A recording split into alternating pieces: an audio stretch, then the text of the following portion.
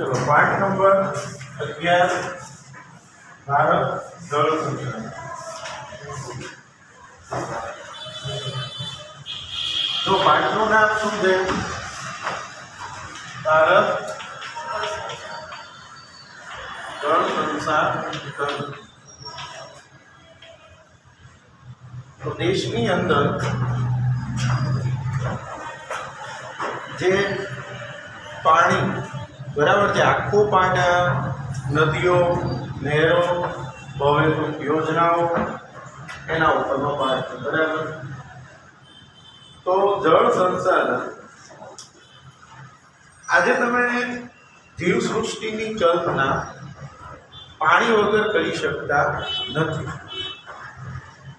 જળ એવું સંસાધન છે જેના વગર કોઈને ચાલતું પાણી વગરના જીવનની કલ્પના કરવી પણ છે મુશ્કેલ. છે બરાબર. તો પાઠનું નામ શું છે? ભારત જળ સંસાધન. વાંચે જે જીવન છે.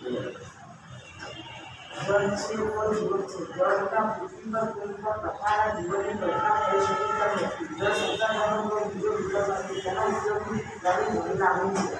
સમગ્ર સજીવ સૃષ્ટિમાં જીવન ટકાવી રાખવાથી જળનો ઉપયોગ કરે છે કોઈ પણ દેશની સમુદ્રની સમૃદ્ધિને આધારે તેને ખેતી અને તેના વપરાતા ઉપર છે જળની વિશેષ જરૂરત વીમા અને ઘરેલું કાર્યોમાં તથા ઉદ્યોગોમાં રહે છે.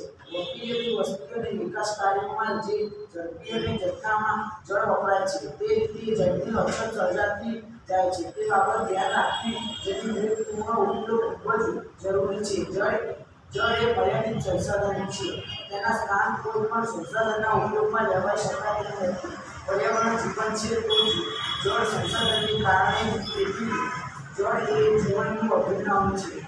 બરાબર. પર્યાવરણ જીવન છે માનવ સૃષ્ટિ છે, એનો મુખ્ય આધાર છે? જળ છે. જળ વગર માનવ જીવનની કલ્પના થઈ શકતી નથી. જળ છે જીવન છે.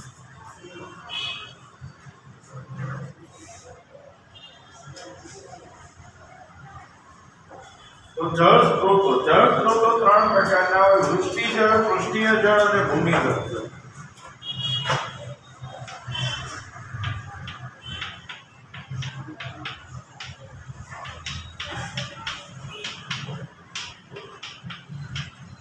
જળ સ્ત્રોતોના કેટલા પ્રકાર છે? ત્રણ. કયા ત્રણ? પહેલું કયું જળ. બીજું? અને ત્રીજું? ભૂમિગત જળ. વૃષ્ટિજળ જળ જળ અને ભૂમિગત જળ પહેલું વૃષ્ટિ. વૃષ્ટિ એટલે વરસાદ પૃથ્વી સપાટી પર પાણીનો સૌથી મોટો સ્ત્રોત કોઈ હોય તો એ શું છે? વરસાદ છે. વૃષ્ટિ. વરસાદ દ્વારા જ પાણી સૌથી વધુ આવે. બરાબર. તો જે વરસાદ સ્વરૂપે જે પાણી આવે છે એને કયું કહેવાય? વૃષ્ટિ જળ પૃષ્ઠીય જળ હવે સમજો કે જે પાણી જમીન સપાટી ઉપર. નદીઓ, તળાવો નદીઓ, તળાવો સરોવરોમાં વહે એ કયું જળ છે? પૃષ્ઠીય કયું જળ છે?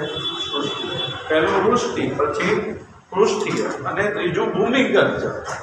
હવે તમે શું છો વરસાદ પડે, એટલે એમાંનું ઘણું બધું પાણી એ ક્યાં ઉતરે છે? જમીનમાં નીચે ઉતરશે. એ જે જમીનમાં નીચે ઉતરેલું પાણી એને કયું જળ કહેવાય ભૂમિગત જળ. તો કેટલા આવશે? જળ સ્ત્રોતો ત્રણ. કયા ત્રણ. વૃષ્ટિય જળ વૃષ્ટિય જળ અને ભૂમિગત. બરાબર? તો જો ચોપડીમાં જળ સ્ત્રોતોના ત્રણ પ્રકાર છે, વૃષ્ટિય વૃષ્ટિય અને ભૂમિગત પૃથ્વી પર જળ સંસાધનનો મૂળ સ્ત્રોત વૃષ્ટિ છે.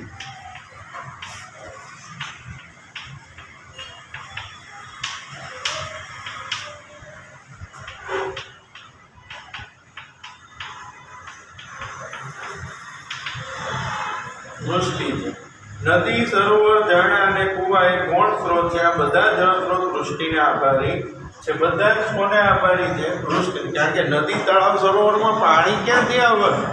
વરસાદથી જ આવવાનું બરાબર? બીજું પૃષ્ઠીય જળ. તો પૃથ્વી સપાટી પરનું જળ જે નદી, તળાવ, સરોવર, સાગર ઝરણા સ્વરૂપે જોવા મળે છે, તેને પૃષ્ઠીય જળ કહેવાય પૃષ્ઠીય જળનો મુખ્ય સ્ત્રોત નદીઓ છે. આપણે યાદ રાખીશું, મુખ્ય સ્ત્રોત આનો કયો છે? આમાંથી આવા પ્રશ્નો બહુ પૂછાય. બરાબર છે? અને ત્રીજું ભૂમિગત જળ. તો મુખ્ય જળ સ્ત્રોતોમાં ભૂમિગત જળનું તાણ અગત્યનું પૃષ્ઠીય જળના અવશોષણથી, જે જમીન ઉપર પાણી વહેતું હોય એના અવશોષણથી, એટલે એ પાણી ક્યાં ઉતરે છે? જમીન. અને એ રીતે કયું જળ બને છે? ભૂમિગત જળ.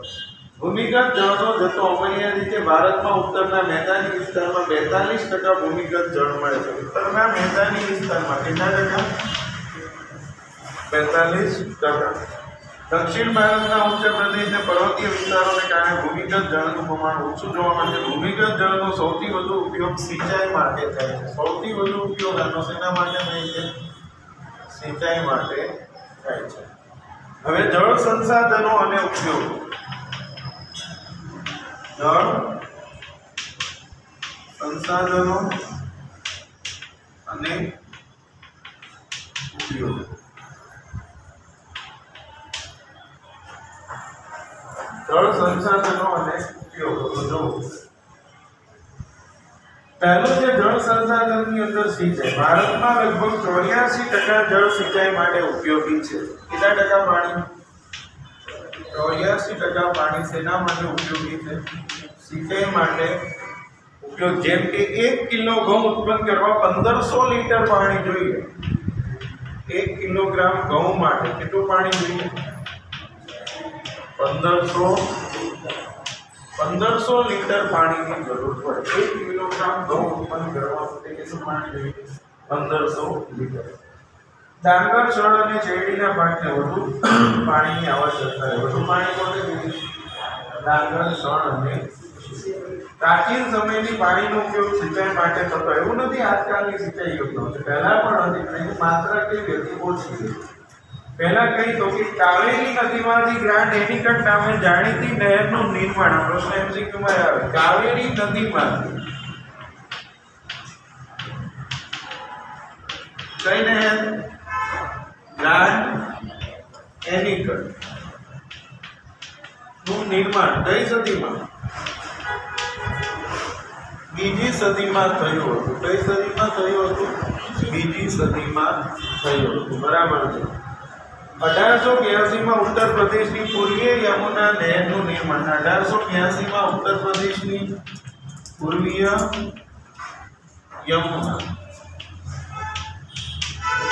નહેરનું નિર્માણ કરવામાં આવ્યું એટલે આ શેની વાત કરીએ આપણે?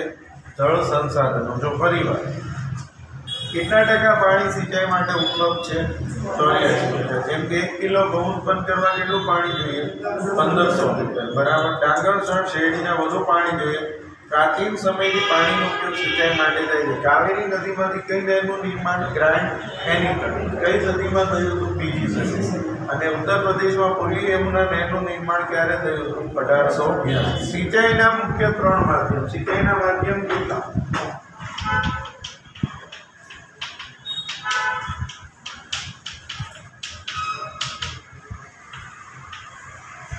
સિંચાઈના મુખ્ય કેટલા માધ્યમ છે? ત્રણ. પહેલું કુવા અને ટ્યુબવેલ નહેરો અને તળાવ. પહેલું શું છે? કુવા અને ટ્યુબવેલ બીજું શું છે? નહેરો. અને ત્રીજું શું છે? તળાવ. પહેલું શું છે? કુવા અને ટ્યુબવેલ બીજું નહેરો. અને ત્રીજું બીજું શું છે? હવે તમને બધાને ખબર હશે, સૌથી વધુ ખેડૂતો છે. એ શેનો ઉપયોગ કરે આમાંથી કુવા અને ટ્યુબવેલ સૌથી વધુ ખેતરોમાં શું હોય? કુવા અને ટ્યુબવેલ હોય ને તેમાં સિંચાઈના મુખ્ય ત્રણ માધ્યમમાં પહેલું શું છે? કુવા અને ટ્યુબવેલ કુવા અને ટ્યુબવેલ મુખ્ય માધ્યમ છે. નહેરો બીજા ક્રમે આવે ને તળાવો ત્રીજા પહેલું શું આવશે? કુવા અને ડુંગર. બીજું શું આવશે? નહેરો. અને ત્રીજું શું આવશે? તળાવ. નહેરો દ્વારા સિંચાઈ સતલુજ, યમુના અને ગંગાના વિશાળ મેદાન અને પૂર્વીય તટીય મેદાનમાં આવેલી મહાનદી, ગોદાવરી, કૃષ્ણા, કાવેરીના મુખ ત્રિકોણ પ્રદેશમાં થાય. નહેરો દ્વારા સિંચાઈ ત્યાં ક્યાં થાય છે? તો કે મોટી જે નદીઓ છે. એ નદીઓના મુખ ત્રિકોણ પ્રદેશમાં નહેરો દ્વારા સિંચાઈ થતી જોવા મળે છે. બરાબર છે. નદીઓના જે મુખ ત્રિકોણ પ્રદેશો છે, ત્યાં નહેરો દ્વારા સિંચાઈ થતી જોવા મળે છે. ત્યારબાદ કુવા અને ટ્યુબવેલ કાપના મેદાનમાં સામાન્ય છે અને તળાવો દ્વારા થતી સિંચાઈ પૂર્વ અને દક્ષિણના રાજ્યોમાં વધારે થાય છે. બરાબર.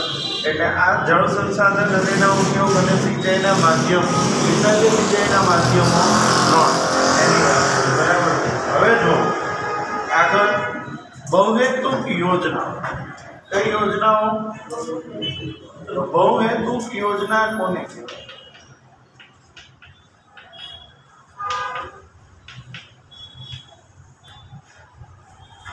તો કોઈ નદી ઉપર એક મોટો શું બાંધવામાં આવે ડેમ નદી ઉપર મોટો બંધ બાંધવામાં આવે હવે એ બંધના ઉદ્દેશો કેટલા હોય? એમ બનાવવાનો ઉદ્દેશ એ કોઈ એક કરતા વધારે એક કરતા વધારે કેમ એક કરતા વધારે? તો કે ભાઈ ડેમ બનાવશું, એક તો પીવાનું પાણી મળશે, સિંચાઈનું પાણી મળશે, વીજળીનું ઉત્પાદન થશે, પૂર નિયંત્રણમાં આવશે. ડેમ મોટા ભાગે શા માટે બનાવવાનો? જ્યારે બહુ પૂર આવતા હોય જે જગ્યાએથી કઈ શું બનાવે છે. તેથી પૂરને શું કરી શકાય? અટકાવી શકાય. તો પૂર ઉપર નિયંત્રણ આવશે. આપણે સરદાર સરોવર ડેમ છે, તો હરવા ફરવાના સ્થળોનો શું થશે? વિકાસ થશે. સહેલાણીઓના હરવા ફરવાના સ્થળો. મત્સ્ય ઉદ્યોગનો વિકાસ થશે. બરાબર? પછી તેમાં જળમાર્ગ તરીકેનો શું થશે? ઉપયોગ થશે. તો આવા ઘણા બધા ઉપયોગો છે. એટલે ભૌમિતિક યોજના કોને કહેવાય? કે જ્યારે નદી કે ખીણો ઉપર કોઈ મોટો શું બનાવવામાં આવે? ડેમ બનાવવામાં આવે. તો એવી યોજનાને શું કહેવાય? ભૌમિતિક યોજના એના ઉદ્દેશો કેટલા હોય? એક કરતાં વધારે. એટલે નદી ખીણો સાથે જોડાયેલી સમસ્યાઓને હલ કરવી એને કઈ યોજના કહેવાય? ભૌમિતિક યોજના. એના ઉદ્દેશો કેવા હોય છે? એક કરતાં વધારે. એટલે એને ભૌમિતિક યોજના કહેવાય. બરાબર? ને કયા ઉદ્દેશો મેં કીધા? એ જ આવશે બરાબર છે? તો ચલો, વાતે જે ભૌમિતિક યોજના છે પાછળ ભારતમાં અનેક નાની મોટી નદીઓ વહે છે. ભારતનો જળ પરિવહન સમૃદ્ધ છે. તેનું કારણ ભારતનું ભૂપૃષ્ઠ એવું છે કે અનેક નદીઓ, બીજી નદીઓને મળે તેનું જળ સમુદ્રમાં ઠાલવે છે. આ જળનો ઉપયોગ અનેક હેતુઓ માટે થાય છે. તે માટે બહુહેતુક યોજનાઓ વિવિધ નદીઓ પર બનાવવામાં આવી છે. બહુહેતુક યોજનાઓ એટલે કે નદી, ખીણ સાથે સંકળાયેલી વિભિન્ન સમસ્યાઓનો હલ કરી બહુહેતુક યોજનાઓ એટલે નદી, ખીણો સાથે જોડાયેલી વિભિન્ન સમસ્યાઓને હલ કરવી નદી, ખીણો સાથે જોડાયેલી વિભિન્ન સમસ્યાઓને હલ કરવી પછી અને પાણી આપાત પાણી, વિદ્યુત ઉત્પાદન, આંતરિક જળ પરિવહન, મનોરંજન, વન્યજીવ સંરક્ષણ અને મત્સ્યપાલનનો સમાવેશ થાય છે. હવે કઈ નદી ઉપર કઈ ભૌમિતિક યોજના આવેલી છે એનો લાભ કયા રાજ્યોને મળે છે, બરાબર? તો પહેલી બાંકરા નાંગલ ભૌમિતિક યોજના. કઈ નદી ઉપર છે? કઈ નદી ઉપર છે? કોસી કોસી યોજના નદી ઉપર છે, દામોદર યોજના, દામોદર નદી ઉપર. પછી હીરાકુડ યોજના, મહાનદી, ચંબલ ગીર ચંબલ નદી ઉપર. નાગાર્જુન સાગર. કૃષ્ણ અને કૃષ્ણરાજ સાગર બતાવે બધા ભૂલ શું કરે કૃષ્ણરાજ સાગર સાંભળીને શું લગ્ન કરે કૃષ્ણ પણ એવું ના હોય નાગાર્જુન સાગર તો કૃષ્ણ અને કૃષ્ણરાજ સાગર તો કાગળ તુંગભદ્રા તો તુંગભદ્રા નર્મદા ગીર સરદાર સરોવર યોજના કઈ નદી ઉપર છે નર્મદા કડાણા અને વણાક બોરી યોજના મહીસાગર કઈ કાંકરા પર ટાપુ કઈ જેમ જરૂરી નહીં કોઈ સુરતમાં છે બહુ મોટો ડેમ જોવા જેવો. કઈ એને કાંકરા ત્યાં ટાપી અને ધરોઈ યોજના સાબરમતી નદી. આપણે સાબરમતી નદી ઉપર કયો ડેમ આવેલો છે? ધરોઈ. બરાબર છે? તો આ બધી બહુહેતુક યોજનાઓ છે અને એ કઈ નદી ઉપર આવે છે. બરાબર છે? હવે સિંચાઈ ક્ષેત્રનું વિતરણ. હવે સમજો તમે, ભારતની અંદર જે સિંચાઈનું વિતરણ છે એ અસમાન રીતે થયેલું છે. અમુક રાજ્યોમાં સિંચાઈની સુવિધા વધુ છે, અમુક રાજ્યોમાં સિંચાઈની સુવિધા ઓછી છે. તો સિંચાઈ ક્ષેત્રનું વિતરણ કેવી રીતે થયેલું છે? અસમાન રીતે. બરાબર તો સિંચાઈ ક્ષેત્રનું વિતરણ સમજીએ છીએ. તો પંજાબ, હરિયાણા અને બધા રાજ્યોમાં પુષ્કળ સિંચાઈ છે. જ્યારે બીજી બાજુ રાજસ્થાન કે આંધ્રપ્રદેશ રાજસ્થાન અથવા દક્ષિણના રાજ્યો બધા ત્યાં બધી સિંચાઈની સુવિધા કેવી છે? ઓછી ઉત્તર પ્રદેશ ને બધા રાજ્યોમાં પુષ્કળ સિંચાઈની સુવિધા, કારણ કે ગંગા ને બધી નદીઓ ત્યાં વહે છે. બરાબર છે? તો ભારતના દરેક રાજ્યમાં સિંચાઈ સંદર્ભે સિંચાઈ ક્ષેત્રમાં ઘણો તફાવત છે. આંધ્રપ્રદેશના તટીય જિલ્લા તથા ગોદાવરી, કૃષ્ણા નદીના મુખ ત્રિકોણ પ્રદેશ, ઓડિશાનો મહાનદીનો મુખ ત્રિકોણ પ્રદેશ તમિલનાડુમાં કાવેરી મુક્ત અને પંજાબ હરિયાણા અને પશ્ચિમ ઉત્તર પ્રદેશે સઘન સિંચાઈ ક્ષેત્રો આ બધી જ જગ્યાએ સિંચાઈની સુવિધા પુષ્કળ છે. કયા કયા રાજ્યોના નામ આપ્યા? જો આંધ્રપ્રદેશ પછી ઓડિશા, પછી તમિલનાડુ, પંજાબ અને હરિયાણા અને પશ્ચિમી ઉત્તર પ્રદેશ. ત્યાં પુષ્કળ સિંચાઈની સુવિધા છે. ત્યારે સ્વતંત્રતા પછી ભારતમાં કુલ સિંચાઈ ક્ષેત્ર લગભગ ચાર ગણો વધી ગયો. આઝાદી પછી ભારતમાં સિંચાઈની સુવિધા કેટલી વધી ગઈ છે? ચાર સ્પષ્ટ વાવેતર ક્ષેત્રના લગભગ આડત્રીસ ટકા ભાગોમાં સિંચાઈ થાય છે. કેટલા ટકા જમીનમાં સિંચાઈ થાય છે? દેશમાં કેટલા ટકા? આડત્રીસ ટકા જમીનમાં સિંચાઈની સુવિધા ઉપલબ્ધ છે કે જ્યાં વર્ષમાં તમે એક કે તેથી વધુ ભાગ લઈ શકો. બરાબર છે?